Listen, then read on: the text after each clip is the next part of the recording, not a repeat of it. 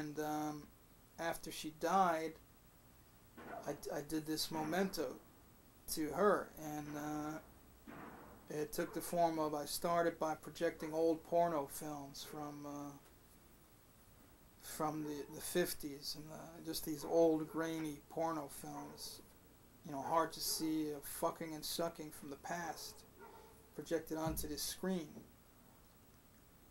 And then I I was behind the screen on a harness with my explosives on. And when the when the old porno films ended, I burst through the screen, hanging upside down from the ceiling on this uh, this harness, exploding, swinging out over the audience. And you know, you think about it. Uh, it was fucking and sucking from the past that created me.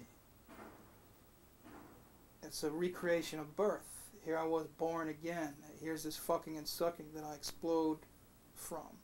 And to me, the, the theory of uh, the, the Big Bang theory becomes literal. You know, I, I'm born in an explosion. Attached to the ceiling, which is like the umbilical cord that I'm attached to. And I was cut down by my wife at the time, who severed the umbilical cord and put out the fires with blood because I was on fire from the explosion. And then I went into the audience with uh, with the, the two mice who were at this time named Mommy and Daddy. My father had died, you know, several years before, but I did this uh, that included him in it too, and I spoke on about, you know, the the, the salvation of death. You know, uh, so there's a point that death becomes merciful, and life is the cruel. You know, and uh, in modern uh, hospitals, people are kept alive much longer than they should be, that nature did not intend. And you know, I did this communion ritual, which is very much like the, the ritual that I was brought up in in Catholicism, where I was taught uh, to eat the body and drink the blood of Christ in symbol, uh, so that you would have Him inside of you. So I I bit the head off of this mouse, which became my mother, which was which was mommy and I swallowed the head, thereby incorporating her inside me, so that even though she died, she would still be within me. And then, uh, at that time, Nancy set up all these, uh, uh, this an effigy of me and these other explosions in the background, so that there was fire all over the place because my mother believed that when she died, she was going to hell. So I recreated hell. It was it became hell there. The place was then covered with smoke. Smoke was everywhere, and all the uh, the fire alarms went off. And that's when the firemen came and the cops, and that's when they charged me with uh, this infernal machine charge. And then it went off into this other direction, where the world took what I did and did something else with it. Th- throughout my life, uh, also as well as um, the expressions through uh, through painting and performance, I also have this need to bring in uh, or collect objects that some somehow relate to things in me and have some kind of significance for me to have them around me. You know, to uh, so that it's not inside, but but on the outside, to be surrounded by by these things that represent the internal.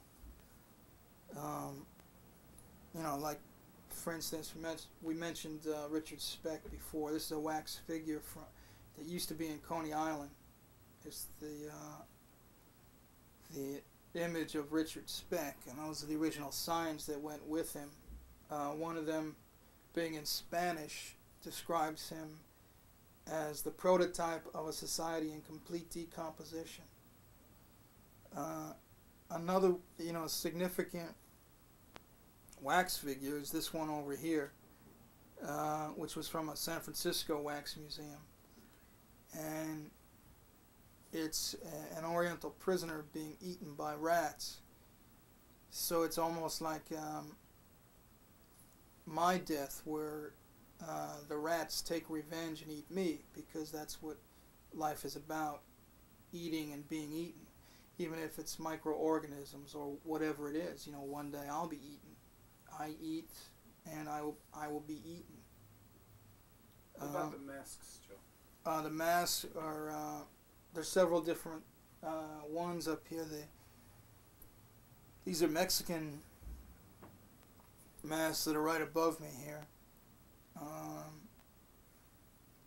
these these two are particularly interesting. They're uh, a reverse beetle, where the shell becomes a, a human head.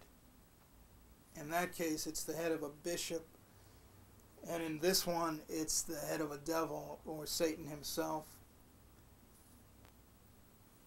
I also collect a lot of two-headed objects too because I was born in uh, 112255, which is all double numbers, and uh, the house across the street from the cemetery was at 99 Ward Street, and also goes along with my feelings of uh, of split personalities of. Uh, of having like uh, a Mr. Hyde, which may be this Dr. Mambuzu, and a Dr. Jekyll, you know, the, the good half too, which is, you know, more like me, at least, um, you know, the Christ and the Antichrist, again. Two, two people in the same person, two sides of the same self. There's a two-headed calf up there, and uh,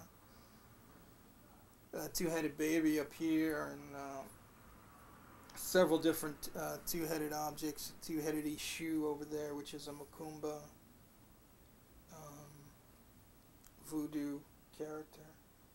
Several different two-headed objects um, objects dealing with cancer which I feel I have a genetic predisposition for because it appears a lot in my family. Uh, uh, objects relating to different things in my life